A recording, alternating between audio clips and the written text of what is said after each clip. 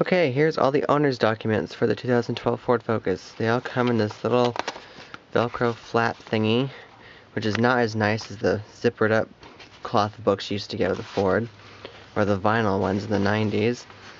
You get two little business card, little business card holdery things in the back. This is your roadside assistance card. Basically, a quick little. This is the stuff you can get with roadside assistance. Little cards that you can cut out and throw in your wallet or something. Um, yeah, so that's your roadside assistance card. Um, for if you have Sirius um, XM satellite radio, six months trial period. Basically, it gives you a channel guide in here, and um, very very exciting. Teaches you how to use it with the different displays as the old style Ford radio, and um, all the way up through My Ford Touch and the basic My Ford system. That. This is the, uh, this is very fancy. Yeah, not really. Um, this is your Ford cleaning cloth. I think it only comes if you get um, my Ford Touch or have an LCD display.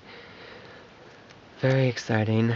Um, I think these were just from when the car was being built. Little barcode thing. I don't honestly know what these things are for, but I kept them anyway, just for the hell of it. This is your warranty guide for the 2012 model year. Except, obviously, those. So this is the same with every new Ford. Apparently Ford is going for the dark green. I'm a cool city car look.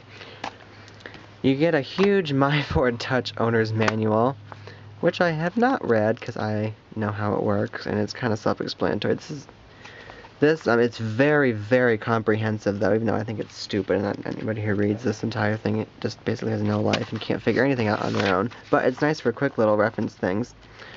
Like it gives you whole Okay. It gives you a full chart of every possible thing you can say with the voice commands and everything. And um, troubleshooting. This is nice to have. Obviously, it's the same for my Lincoln Touch. Tire warranty guide. Um, yeah, like I'm going to read that. Um, this is your quick reference guide. You can download these as a PDF, by the way. Um, from the Ford website. You can download. I have the owner's manual. I have the PDF. Um, and actually, my friend who works at a Ford dealer gave me a PDF of a window sticker. But anyways, um, this is about the quick reference guide. It looks like it folds out. And if I can get it to work, come on, work with me here. Okay.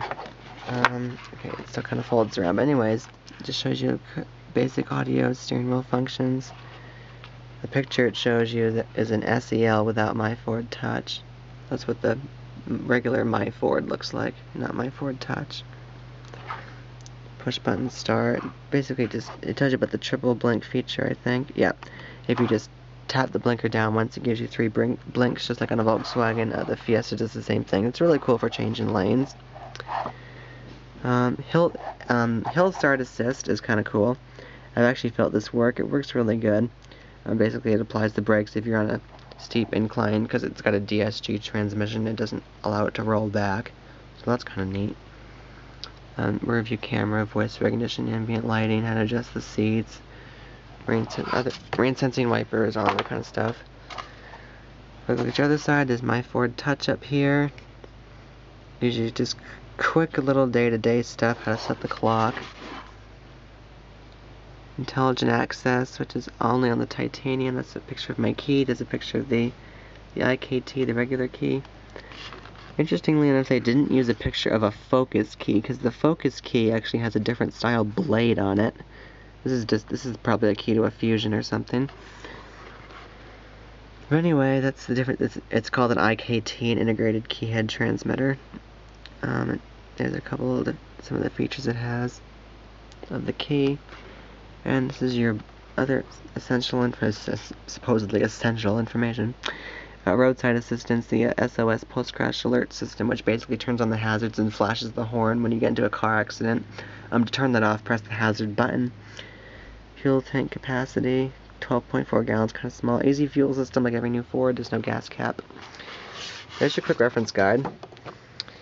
Um, And finally, you have the actual owner's manual, which is set up like basically every Ford manual of the last 20 years. Starts you out with, oops, warning lights, then goes into the dashboard, then the radio, then the climate system, and blah blah blah blah blah. And then you have all the uh, rest of the stuff on the back here. All the technical specs and your glossary. And so yeah, that's all your owner's documents of the 2012 Ford Focus. Any questions, leave me a comment below. Thanks for watching.